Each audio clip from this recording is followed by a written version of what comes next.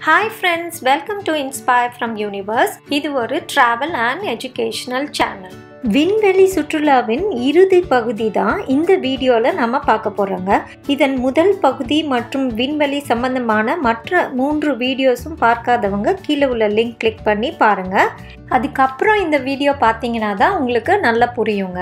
Sub orbital விண்வெளி சுற்றுலாவில் virgin galactic நிறுவனம் இந்த வருடம் எட்டிய மைல்கல் மற்றும் அவங்களோட வருங்கால திட்டங்கள் பற்றி விண்வெளி சுற்றுலா பற்றிய முதல் பகுதி வீடியோவில் நம்ம பார்த்தோம்.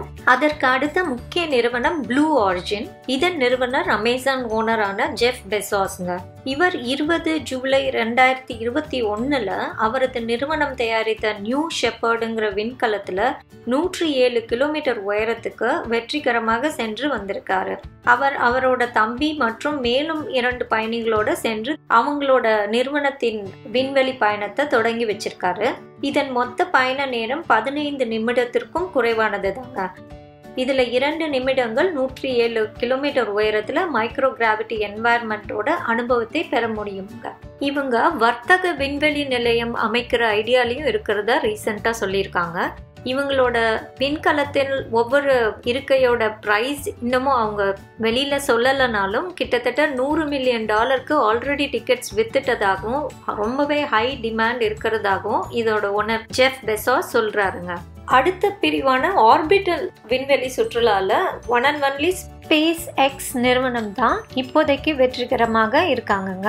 இவங்களோட விண்கலன்களை பயன்படுத்தி ஆல்ரெடி ரெண்டாயிரத்தி பன்னிரெண்டுல இருந்து இன்டர்நேஷனல் ஸ்பேஸ் ஸ்டேஷனுக்கு நாசா அவங்களோட ஆஸ்ட்ரோநாட்ஸுக்கு தேவையான பொருட்களை அனுப்பிச்சிட்டு இருக்காங்க இன்ஃபேக்ட் முப்பத்தி ஒன்று மே ரெண்டாயிரத்தி இருபதுல முதல் முறையாக ஈவன் ஆஸ்ட்ரோநாட்ஸை இவங்களோட விண்கலம் க்ரூ டிராகனை பயன்படுத்தி நாசா ஐஎஸ்எஸ்க்கு அனுப்பிச்சிருக்காங்க. ஸ்பேஸ் எக்ஸ் நிறுவனம் முழுவதும் சுற்றுலா பயணிகளை கொண்ட இன்ஸ்பிரேஷன் ஃபோருங்கிற விண்கலத்தை பதினைந்து செப்டம்பர் ரெண்டாயிரத்தி இருபத்தி ஒன்றில் வெற்றிகரமாக அனுப்பிச்சிருக்காங்க இதில் நான்கு பேர் பயணம் செஞ்சுருக்காங்க.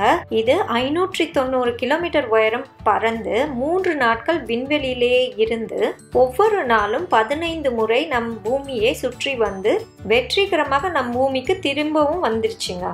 அமெரிக்க பில்லியனரான ஜார் ஐசக்மேன் தான் இந்த பயணத்திற்கு முழு நிதி உதவியும் செஞ்சிருக்காருங்க.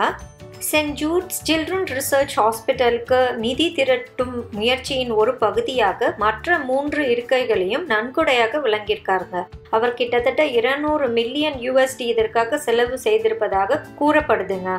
இந்த பயணத்துல ஒரு இருக்கையின் விலை கிட்டத்தட்ட ஐம்பதுல இருந்து ஐம்பத்தைந்து மில்லியன் யூஎஸ்டி வரைக்கும் இருக்கலாம்னு சொல்றாங்க. இதே நிறுவனம் ரெண்டாயிரத்தி இருபத்தி ஆறுல சுற்றுலா பயணிகளை செவ்வாய் கிரகத்துக்கு கொண்டு செல்கிற பிளான்ஸும் வச்சிருக்காங்க.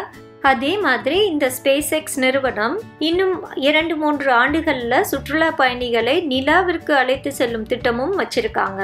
இன்னும் இதில் போயிங் நிறுவனம் கூட விரைவில் இந்த விண்வெளி சுற்றுலா துறையில் காலடி வைக்க இருக்காங்கங்க.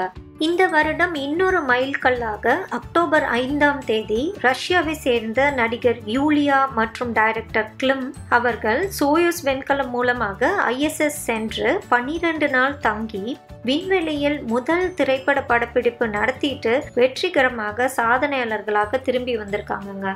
ஸோ அடுத்த பத்து ஆண்டுகளில் இந்த விண்வெளி சுற்றுலாத்துறை ஒரு பெரிய புரட்சிக்குள்ளாகும்னு சொல்றது மிக இல்லைங்க. ஸ்டார்டிங்கில் பெரிய பெரிய பணக்காரர்களுக்கு தான் இருந்தாலும் அபரிவிதமான தொழில்நுட்ப வளர்ச்சியின் காலகட்டத்தில் நம்ம வாழ்றதால கூடிய விரைவில் பெரும்பான்மையான மக்களின் எட்டும் தூரத்திற்கு இந்த விண்வெளி சுற்றுலா வருங்கிற நம்பிக்கையோட விண்வெளி பற்றின பயணத்தை நம்ம முடிக்கிறோங்க. அடுத்த வீடியோ எதை பற்றி இருக்கும்னு கெஸ் பண்ண முடிஞ்சால் கமெண்ட் செக்ஷனில் பதிவிடுங்க. சப்ஸ்கிரைப் பண்ணுங்க ஷேர் பண்ணுங்க இன்ஸ்பயர் ஃப்ரம் யூனிவர்ஸ் கூடிய விரைவில் அடுத்த வீடியோவில் சந்திக்கும் வரை டேக் கேர் பாய் ஃப்ரெண்ட்ஸ்